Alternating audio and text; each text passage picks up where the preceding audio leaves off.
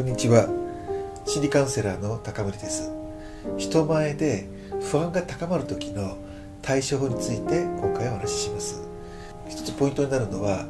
この不安というものをゼロにするっていうふうには考えない方がいいってことですよね。この人前での不安をゼロにすることで対人関係を良くするっていうふうにすると大体失敗しますね。このゼロにするっていうことにこだわってしまっていつまでたってもそこまでいかないからですね。と言いますのは人前で不安がゼロになるということはそもそも無理なことなんですね。いろんな状況に対して対処能力を上げるためには不安っていうのは適度にあった方がいいわけですから。ということは過度な不安っていうものはある程度和らげた方がいいんですけれどゼロにするっていうことにこだわることなくそこそこの不安っていうところになったら逆に今度は人間関係でうまくいくようにある種の成果が上がるようにっていうところにフォーカスをしていく。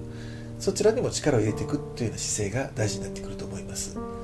以上ご参考になれば幸いです。最後までご覧いただきありがとうございました。この動画の下にメンタル不調を予防する感情チェックアドバイスという無料サービスのリンクが貼ってあります。よろしければご利用になってみてください。